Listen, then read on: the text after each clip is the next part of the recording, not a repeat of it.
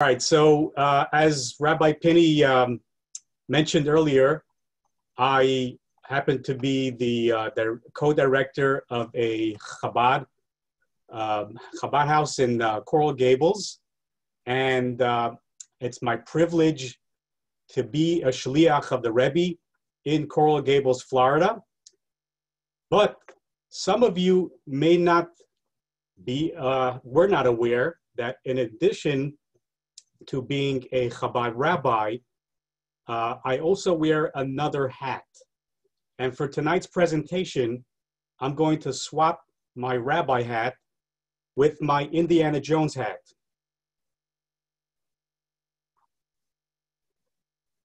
So,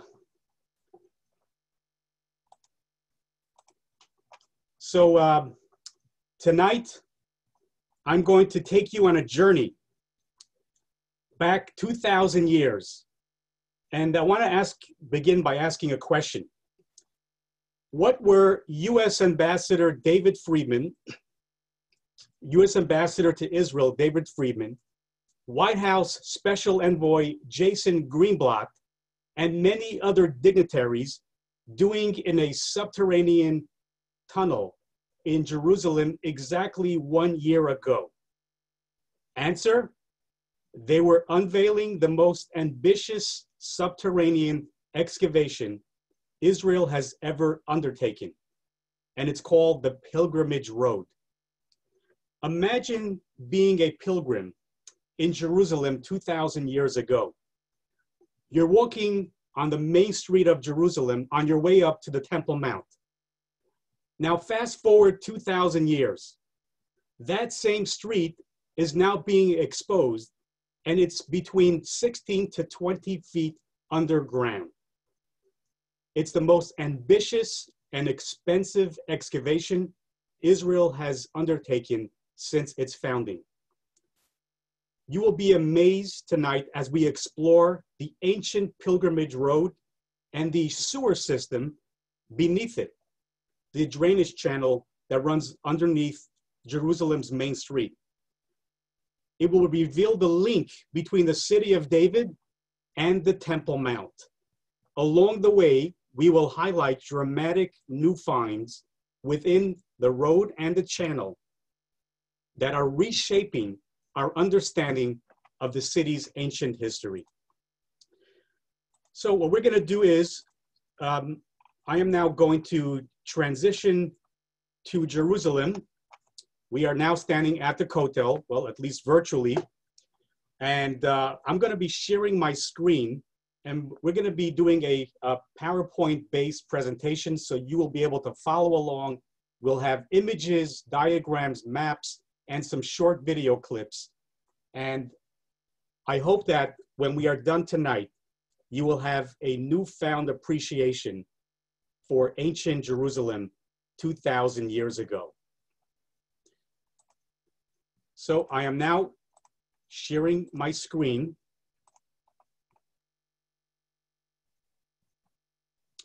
And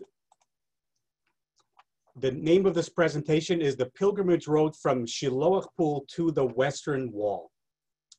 Um, I want to begin by asking you, if I may, who could give me a thumbs up if you have been to Jerusalem? Give me a, a, either a real thumbs up or a virtual thumbs up.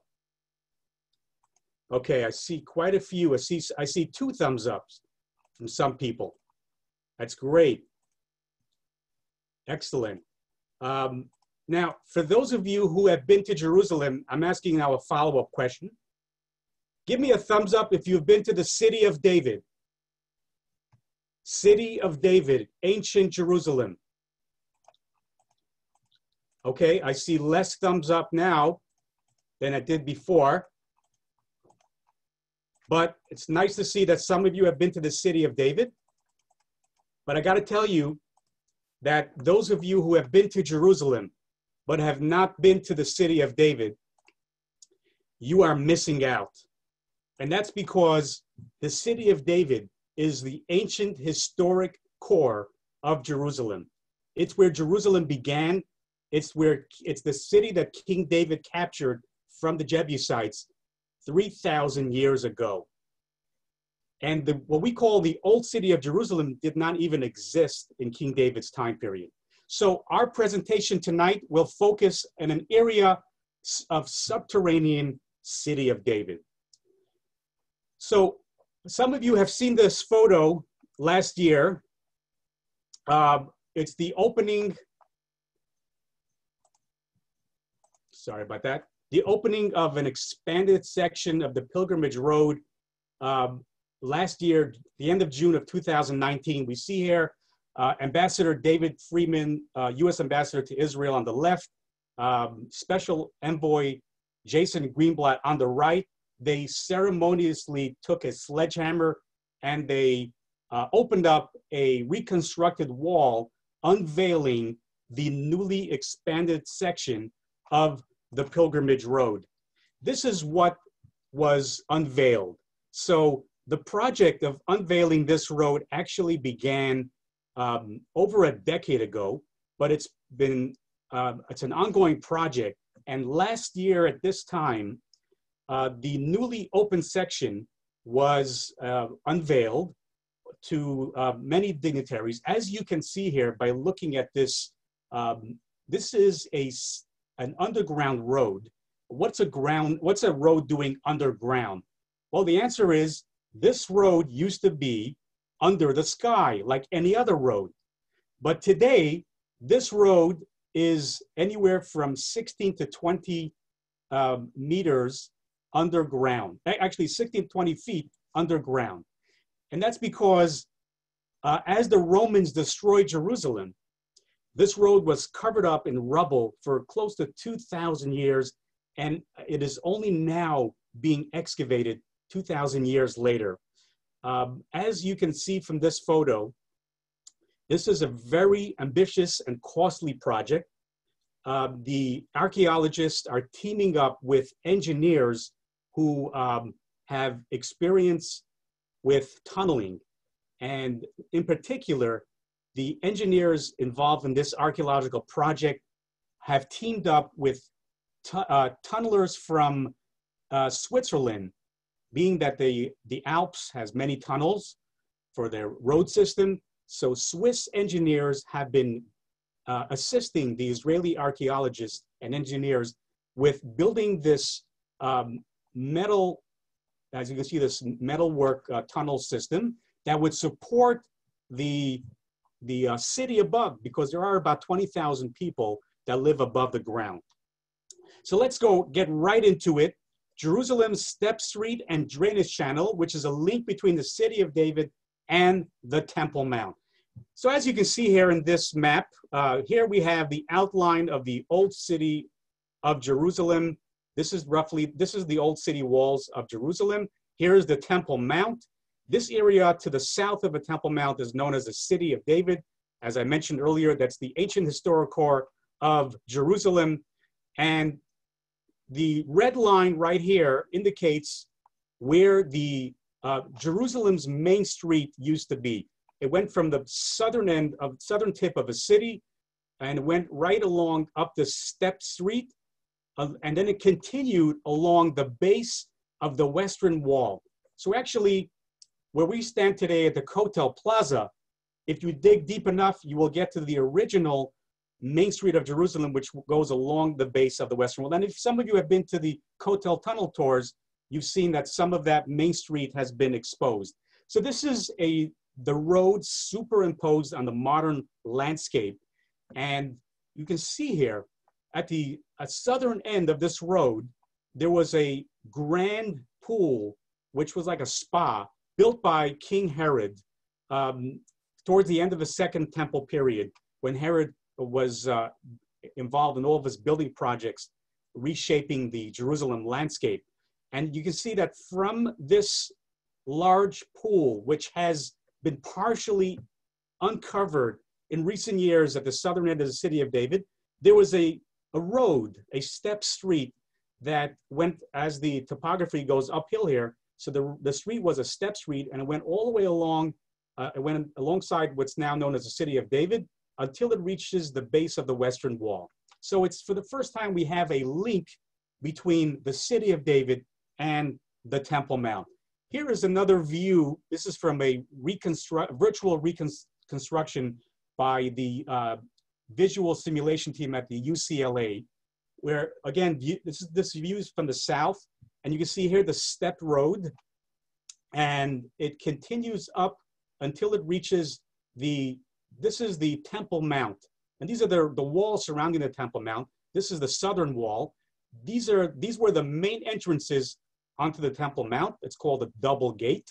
And this was the road that pilgrims who would visit Jerusalem, particularly during the three major festivals of Passover, Pesach, Shavuot, and Sukkot, they would, um, according to scholars, they would immerse themselves in that Shiloach pool, um, and they would continue up to the um, on the on, on this road over here until they reached the Temple Mount. So this was like the last uh, 600 meters of the pilgrimage uh, of, of the pilgrims. Now this is a reconstruction of a of the pilgrimage road. As you can see, this is a road that was under the sky. It was about 25 feet wide in its heyday, and it was lined with two-story buildings, shops lining. This was the main street of Jerusalem. You can see people bringing their offerings, bringing their um, their their animals for offerings, or whether they're bringing their fruits for bikurim, the first fruits, and they're going up with the throngs of people on their way up to the Temple Mount. As you can see at the end of this road, you can see a little part of what's now known as Robin, Robinson's Arch, which supported a monumental staircase. So let's take a look at the road um, and the channel beneath it that was discovered recently. And this is what it looks like today. As you can see, this is a small section of the road that has been uncovered. And be beneath it, you can see where the drainage channel used to be, which was the ancient sewer system of Jerusalem, where the rain uh, runoff would be going into the, like any other street today, you have a, um, you have a, uh, you know, you have, you have uh, like a sort of like a, uh, a, a grate where where the sewer the, the, the one the runoff goes on the side of the street. Similar, they had these um, same thing made of stone on Jerusalem's main street. This is what an artist's reconstruction of the road above and the drainage channel below. Here's a closer up. You can see the people walking up the main street of Jerusalem. And here below it is the ancient drainage channel, the ancient sewer system of Jerusalem that was exposed. Let's watch this short video clip about the connection between the Shiloah pool and the step street known as the Pilgrimage Road. Here I am at the archaeological site of the Siloam Pool, discovered by archaeologists in 2004. Mentioned in the Bible, the Siloam Pool was the major water drawing source of ancient Jerusalem. These, in fact, are the stairs that brought Jewish pilgrims down into the pool to purify before they began the dramatic ascent up to the Temple Mount. Archaeologists, however, ask themselves a question. If this was the pool, how did those pilgrims actually walk up to the temple and the Western Wall? That brings us to our next and perhaps most exciting discovery. This is the ancient pilgrimage thoroughfare, and these are the very stairs that are being excavated that once carried millions of Jews from the Siloam Pool up to the Temple Mount 2,000 years ago. Okay, let's look at some of the characteristics of this pilgrim, pilgrimage road on the drainage channel. So as you can see here, this is uh, the initial section of street that was uncovered near the Shiloach Pool in the southern end of the city of David. And originally it was, I mentioned before, 25 feet wide, and it has a very unique pattern, these steps. It's not a typical pattern of stairs that we have today, but as you notice, there are two steps and a landing, two steps and a landing, and so it goes. And archaeologists have matched this, they've compared this to the grand staircase leading up to the, the Temple Mount, which had a similar pattern. And they believe the reason for this unique pattern not your typical stairs like we have today, is because when you ascend to, towards the Temple Mount, your ascent should be very deliberate. Using modern day lingo, you shouldn't be texting on your phone as you be as you walk up the stairs because you will stumble. So you have to be very um, deliberate and focused as you walk up these stairs. 600 meters of the street until you reach the Temple Mount. The entire length of the street was about one kilometer. Now, the drainage channel, which is underneath the street, is about between a third to a meter wide. It's about a, a one to three meters high. And depending on where you are, anywhere from 15 to 20 meters underground. And as they excavated this, uh, these two, the street and the drainage channel below, eh, they, they, what they use what's called a horizontal archaeology. So as you may be aware, archaeologists typically remove layer upon layer. It's called vertical archaeology. They remove the top layer like a sandwich. Each layer tells us about a different period of time.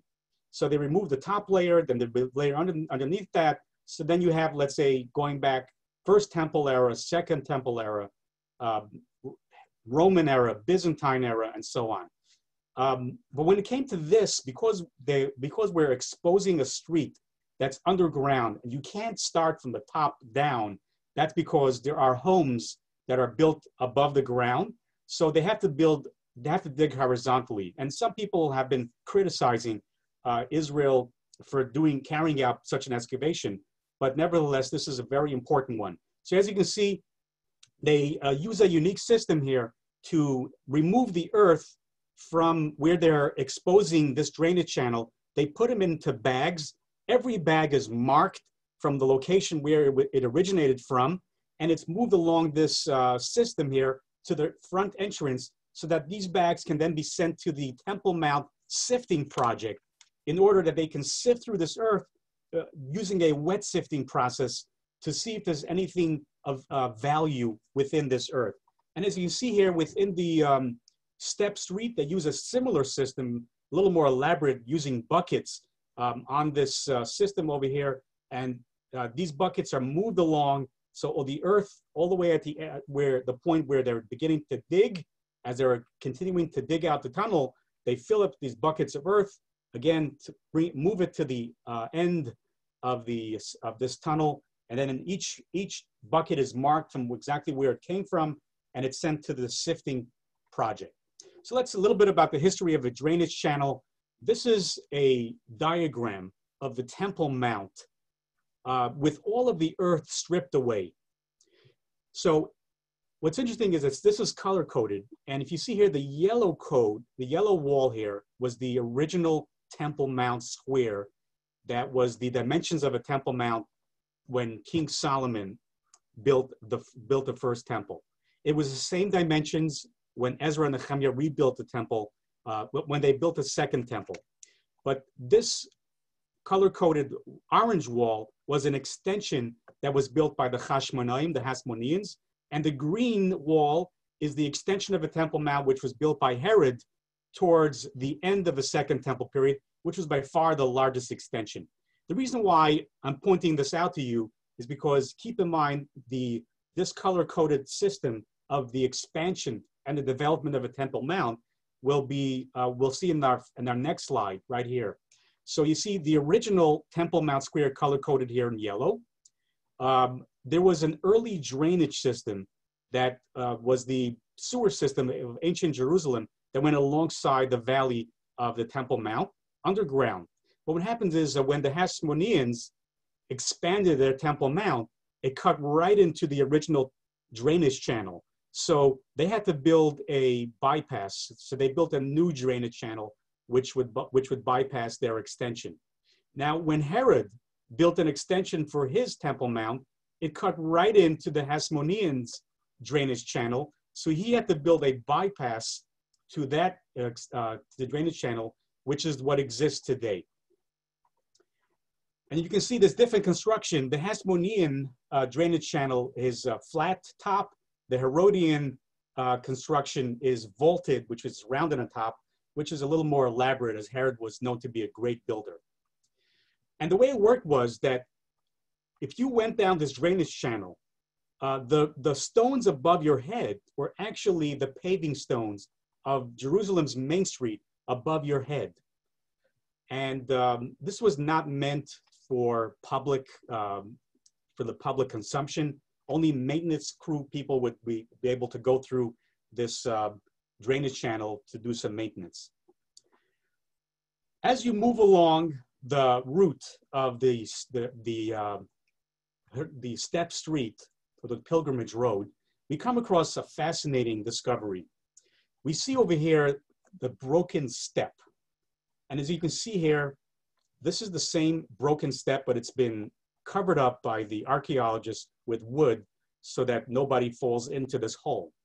What exactly does this broken step represents? As it turns out, uh, we look in the book of Josephus and we find that this is a very um, important part of Jewish history dating back to the Second Temple period. As we know, we are coming now, uh, recently we commemorated the ninth day of Av, Tisha B'Av, which is the um, the, mo- the saddest day on the Jewish calendar when we commemorate the destruction of both the first and second temple. The second temple was destroyed by the Romans in the year 70 of the Common Era, and the Romans laid siege to Jerusalem, so there was no one was able to go in or out. And eventually, some people realized that there was a way out. And the way out was to go into Jerusalem's sewer system. And this is reminiscent of, uh, in more recent uh, times, when Jews were hiding from the Nazis in the, um, in the uh, Warsaw Ghetto, at some point the, the, the, the fighters of the Warsaw Ghetto hid in, in the Warsaw in the Warsaw sewer system, um, of, hoping to evade the Nazis. Unfortunately, we know what happened. They were flushed out by the Nazis.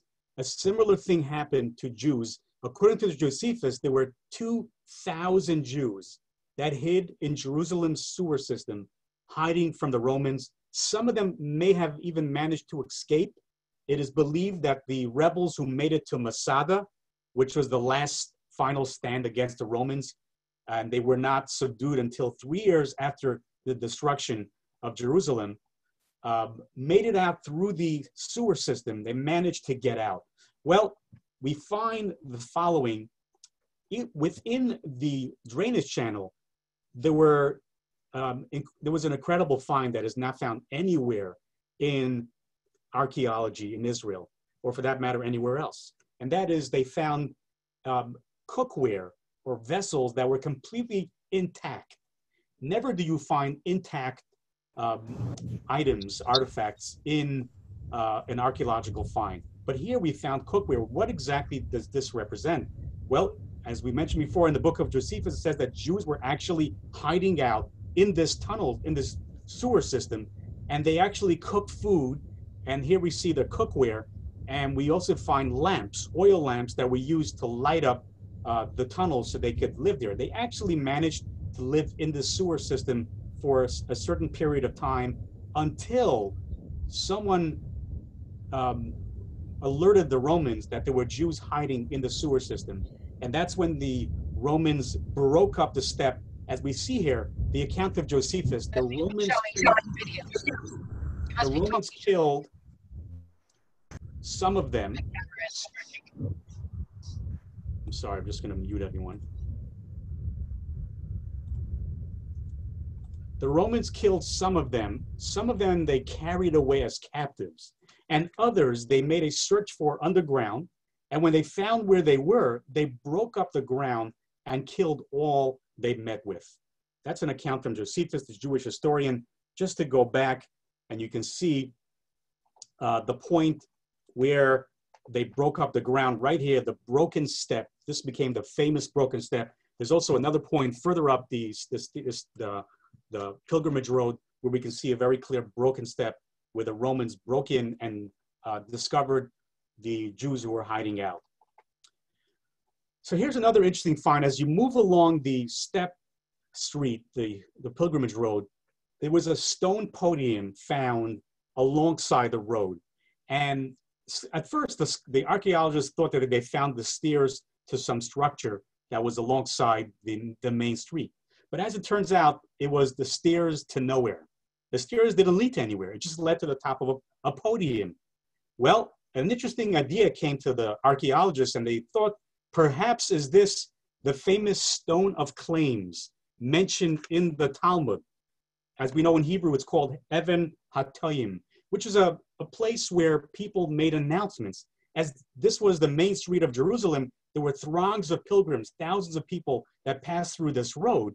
And if you wanted to make an announcement, let's say if someone lost an object and you wanted to announce that you lost, you found an object, you would go up on this road. This, this was like the, the Hyde Park corner of Jerusalem's, uh, along Jerusalem's main street. And we can see right here the claimant stone in the Talmud from Baba Metzia. It says, there was a claimant stone in Jerusalem. Anyone who lost an item would be directed there. Anyone who found a lost item would be directed there.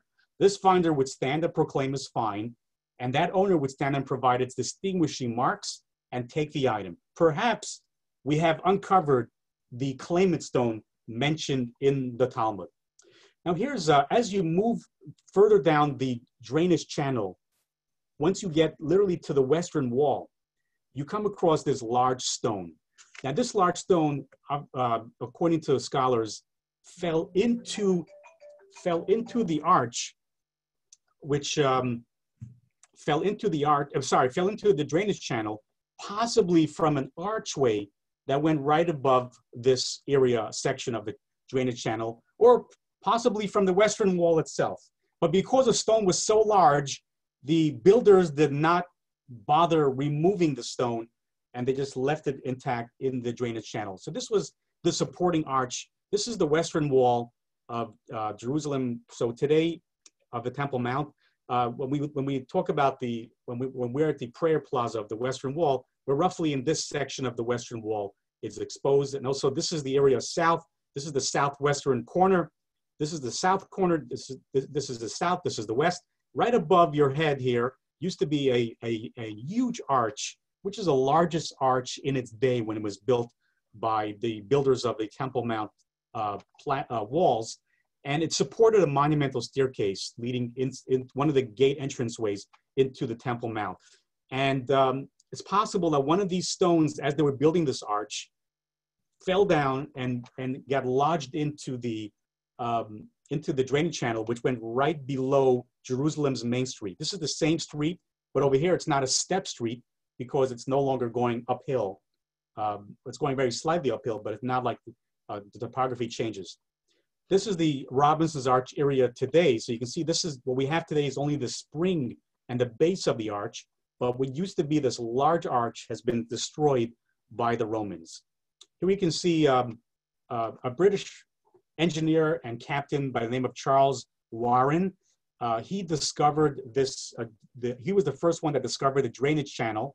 And he actually descended into the drainage channel using this rope ladder, which was a very um, difficult way of descending. This is his assistant, and he had, there were no photographs back then. This was back in the 1860s. So he had an artist that would document his uh, discoveries underground Jerusalem.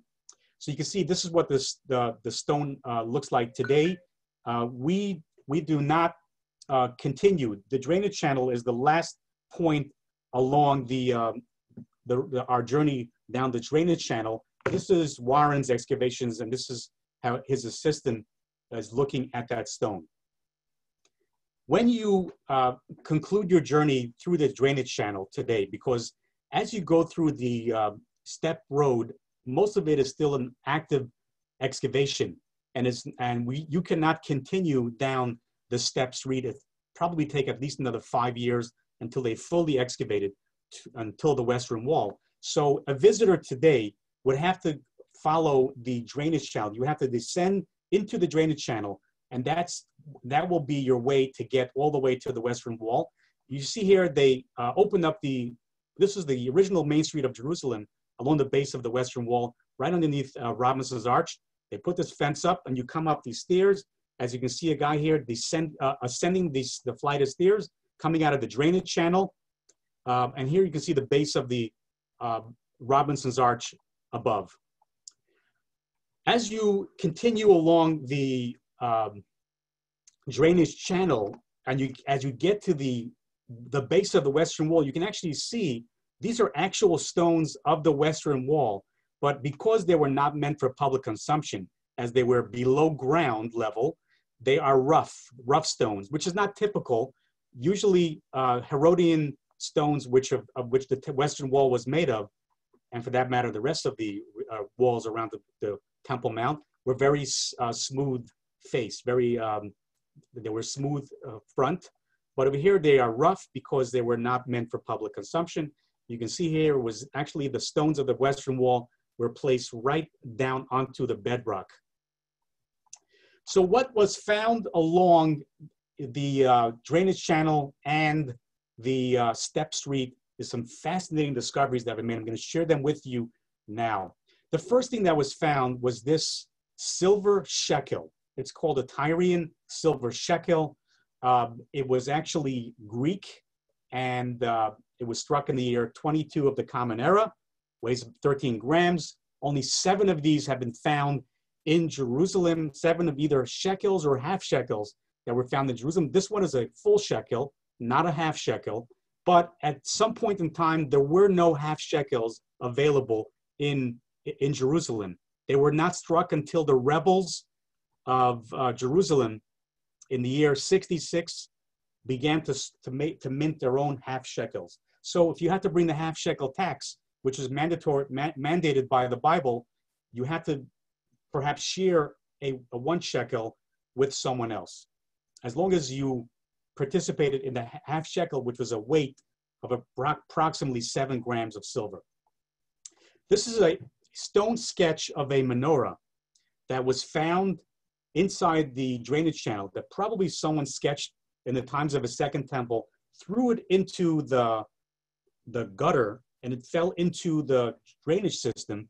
And perhaps this guy saw the menorah. Obviously, it's not an accurate depiction of the menorah. You know, you can only see only has uh, it only has five branches here, which is not accurate. The, the menorah had seven branches, but it's just an idea. This is one of the um, this is a menorah that was found dating back to the times of a second temple from someone that possibly has seen a menorah on the Temple Mount.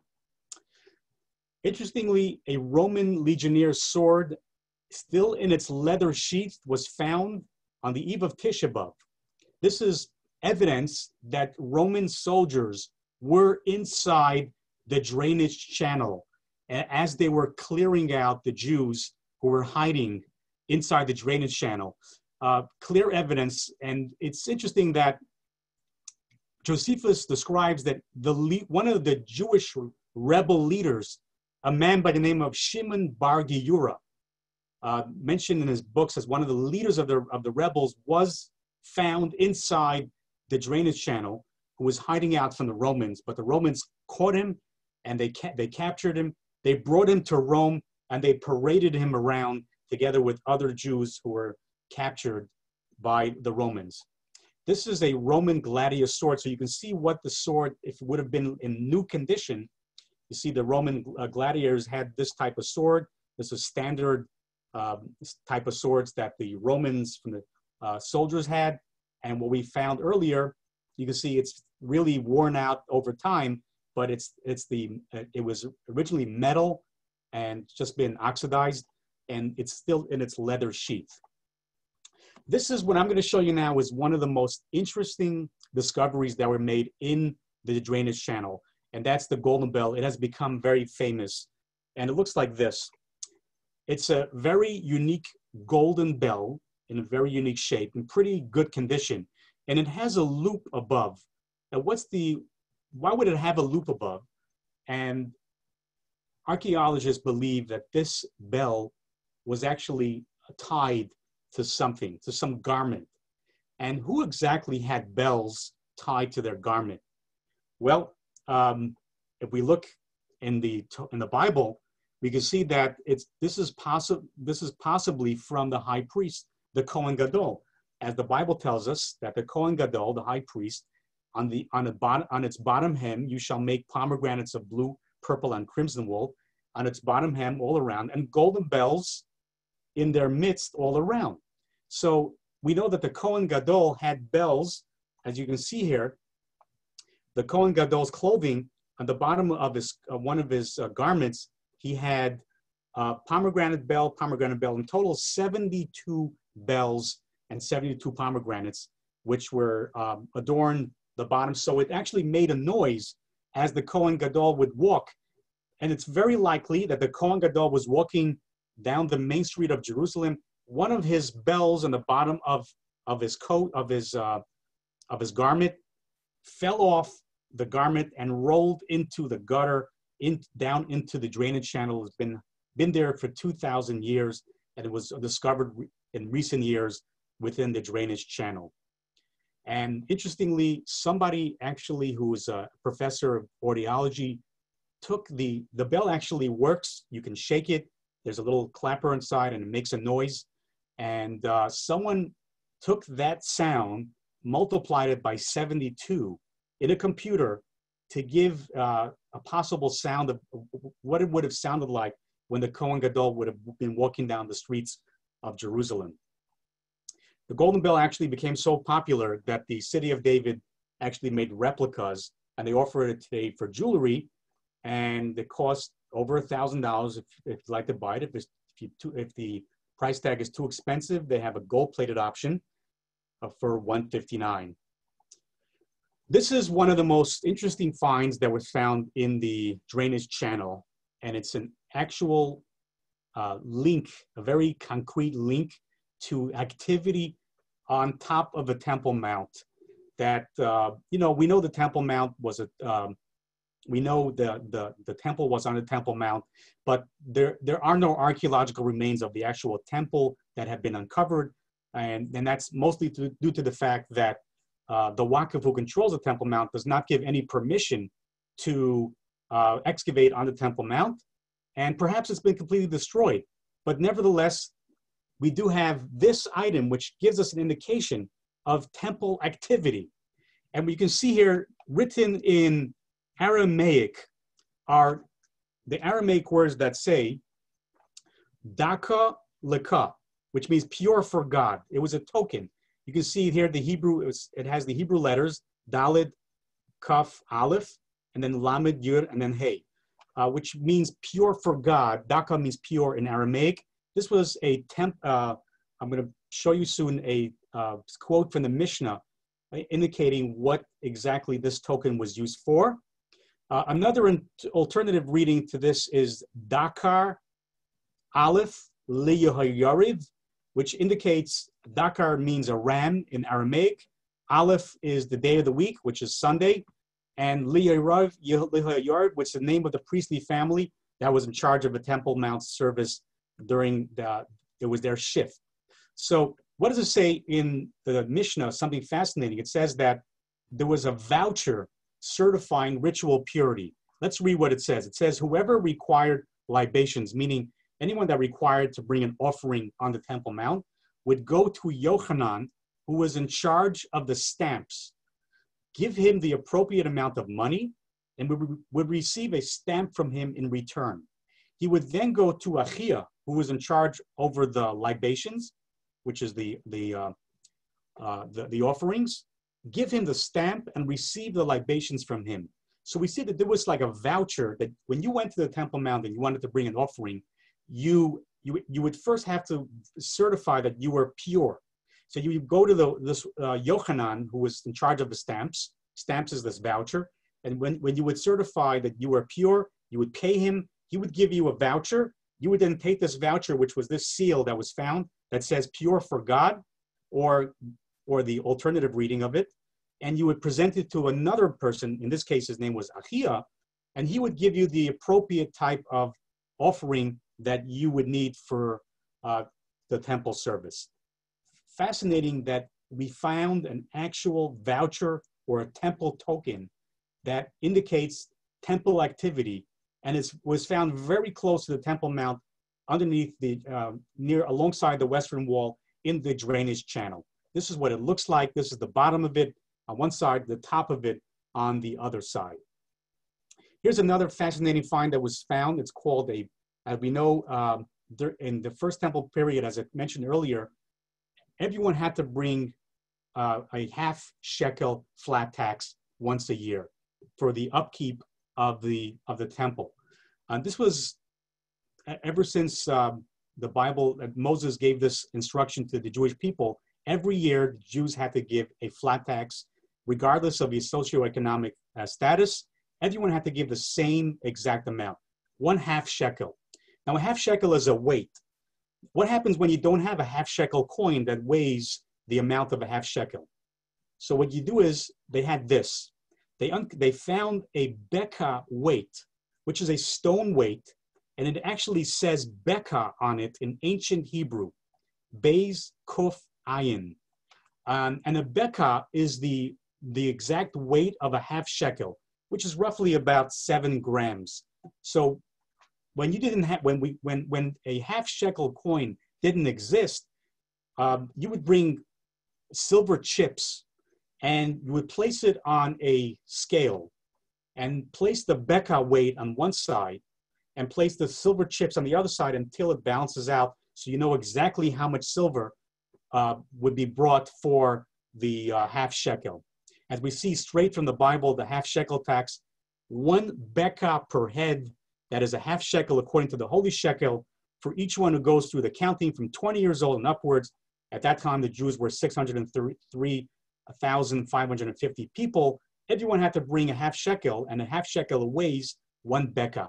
We now have that weight that was found very close to the Temple Mount in the drainage channel. Again, must have fell out in someone's pocket, rolled into the drainage channel. This is a, another fascinating discovery that was made in the Step Street, the Pilgrimage Road. It's, it's a very unique find. It's a stone tabletop used to measure liquid volumes. So this belonged to the manager of the ancient Jerusalem marketplace. There's one area roughly in the middle of the, uh, the step street that there was a, the pilgrimage road, which is a wider flat area. It was believed that that was the ancient marketplace of Jerusalem. And they found this stone tabletop, which has a cavity in it, which was used to measure liquid volumes. As you can see, on the bottom of this, there was a hole. So how, how did one know, for example, if they wanted to sell um, oil or wine or any other liquids to someone else in the marketplace, how would they know they had, they had an accurate measurement of liquid? What they would do is they would bring their liquid, let's assume it was wine, to the guy in charge of the manager of the marketplace, and they would pour it into this cavity. And before they would pour into this cavity, they would plug the bottom hole either with his finger or with some other method until it was filled to the top. And this was a, a perfect, um, an accurate uh, amount of a certain type of volume. Let's say it could have been, let's say, a log, which was uh, an ancient um, measuring for, for liquid volume or let's say in today's in today's language, it could be either a gallon, a liter, and you can see there was another amount of volume that was uh, near this cavity, but it's been broken off. And then we knew exactly the when you know the exact amount of volume, you can then uh, uh, take your jug and release the volume into your jug, and you would know the exact amount uh, that was necessary. So this belonged to the Jerusalem Central Market Manager. It was found alongside dozens of stone measurement weights. So we know that this was the area of Jerusalem's ancient marketplace. Um, we find the pilgrimage road in the Mishnah, a very interesting, um, a very interesting uh, argument takes place between the famous scholars, sages of the Mishnah, Hillel and Shammai, and they ask, who is a minor when it comes to uh, making the pilgrimage, which was a mandatory which was mandatory for Jews to go up uh, during the major uh, uh, festivals of Passover, Sukkot, and Shavuot, and Sukkot. It says that a minor is exempt from uh, making the pilgrimage. The question is, what is considered a minor uh, when it comes to making a pilgrimage? So we have a disagreement between Hillel and Shammai. Sham, who is a minor? Whoever is unable to ride on his father's shoulders and go up from Jerusalem to the Temple Mount the words of Bet Shammai. So if you are unable to go on your father's shoulder up to the, to the Temple Mount, then you're considered a minor. You don't have to make the pilgrimage. But Bet Hillel says, whoever is unable to hold his father's hand and go up from Jerusalem to the Temple Mount, as it says, three regalim, which is a term used for the festivals. Regalim actually means feet. And because the Torah uses regalim feet for festivals, we learn, says, says Hillel, that if you can walk up from the bottom of Jerusalem to, towards the Temple Mount, you are considered not considered a minor anymore when it comes to pilgrimage. And that's this pilgrimage road. Uh, the pilgrimage road is was an indication. If you could walk up that pilgrimage road, which is about 600 meters, you were considered no longer a minor and you were obligated to make the pilgrimage up to the Temple Mount during the three major festivals. We're going to conclude now with a, uh, a video that was produced by the city of David about the pilgrimage road in Jerusalem uh, shortly after the opening uh, one year ago of the pilgrimage road. So sit back and relax and enjoy.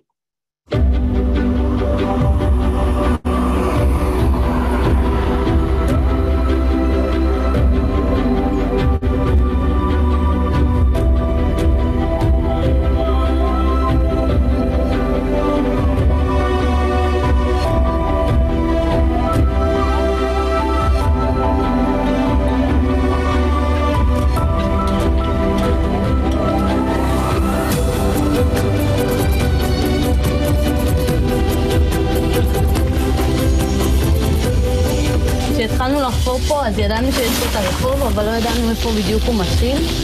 ואני הייתי בצוות שחשף את המדרגות ממש בפעם הראשונה, ואז ידענו שזה המקום.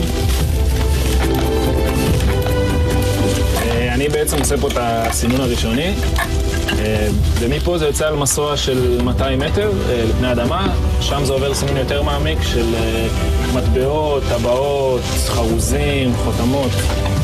על כל שק שיוצא מהחפירה אנחנו רושמים מספר של השכבה שחפרנו ותאריך שחפרנו אותו, ואנחנו שולחים לסינון.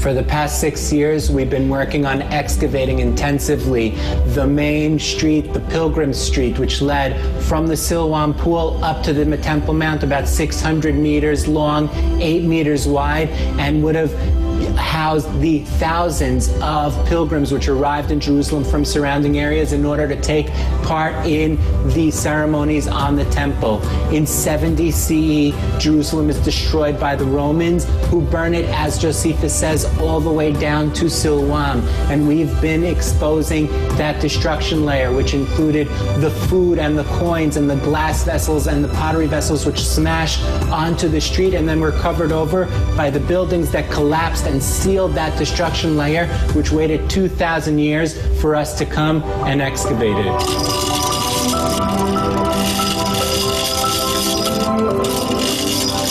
הרבה שנים חלמנו להגיע לירושלים.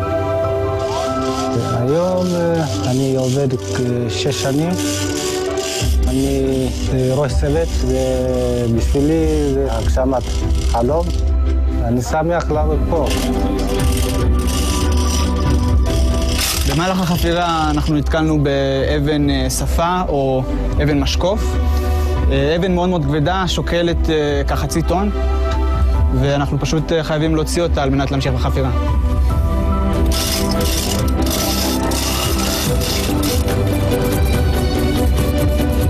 מעלינו נמצאים בתים, רחובות ועיר שוקקת. אנחנו מצד אחד רוצים לחשוף את העבר, ומצד שני אנחנו רוצים לשמר את מה שקיים. על מנת לאפשר את זה, אנחנו מבצעים תימוך מקדים על ידי מטריות, ולאחר מכן אנחנו שמים קשתות ומסגרות לתימוך הסופי. אנחנו בזמן החישובים לקחנו את העומסים שקיימים מעל הקרקע, את העומסים שקיימים בתוך הקרקע, ולאחר מכן אנחנו בודקים את היציבות של המבנים לאחר שהפועלים פה סיימו את העבודה, מחשבים ומאשרים את היציבות ומאפשרים את החפירה. לפעמים אנחנו מעכבים בעצם את החפירה, אבל אנחנו לא מוכנים להתפשר על יציבות המבנה ועל בטיחות העובדים. את התכנון אנחנו עושים בשיתוף עם חברה בינלאומית בשם פיני סוויס, שמתמחה במינור. אנחנו עומדים בסטנדרטים הגבוהים ביותר בתקנים של היורו-קוד ובתקן הישראלי. עד עכשיו מצאתי 96 מטבעות, מחכה למטבע המאה. מצאנו פה ממש נר שלם, עם כל העיטורים, בשפה ארכיאולוגית נר תמים, זה היה מרגש. I'm standing on the pilgrimage road. These are the actual stairs that were uncovered here that thousands of years ago pilgrims walked up as they made their way through Jerusalem. This is one of only a handful of sites in the entire world that has such importance to billions of people. It's incredible. If we think about that, Rome has the Colosseum, Egypt has the pyramids, and now Jerusalem has the pilgrimage road. Millions of people walked here in the past, and millions of people will walk here again in the future as they experience their history with their eyes, with their feet, and most importantly, with their hearts.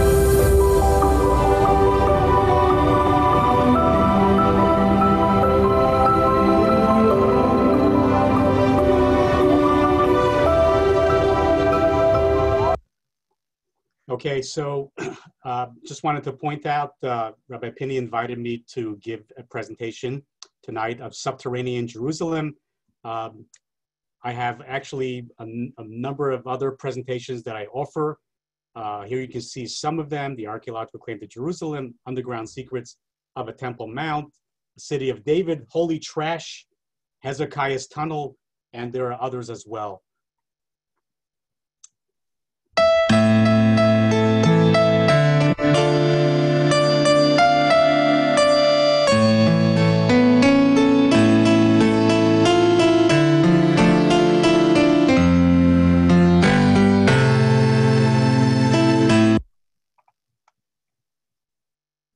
Rabbi Stolik, thank you so much.